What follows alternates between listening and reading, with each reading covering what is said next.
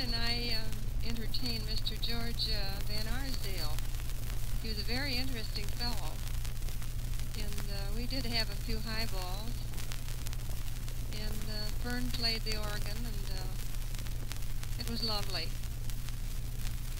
And uh, I'm also looking out the window, and I'm hoping by this time you have had your deer.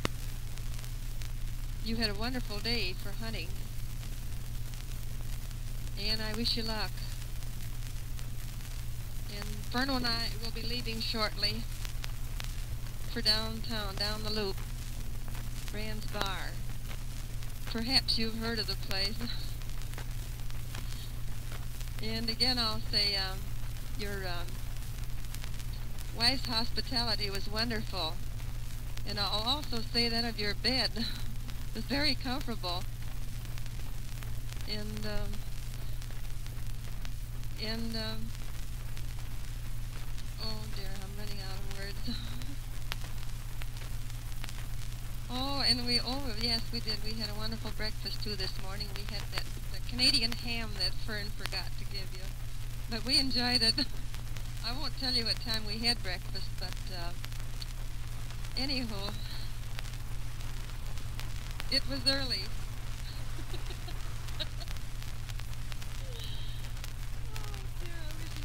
Wasn't quite as large as it is. oh dear me. Wish I could tell, a, uh, tell a story offhand, but I can't think of one just now. And, and I'm sure you wouldn't want to hear my voice. song. oh dear me.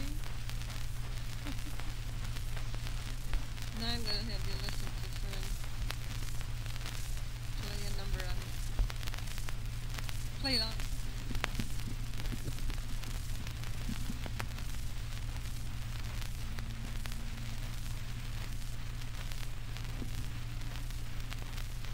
recognize what she's playing? I believe it's Kiss Me Again.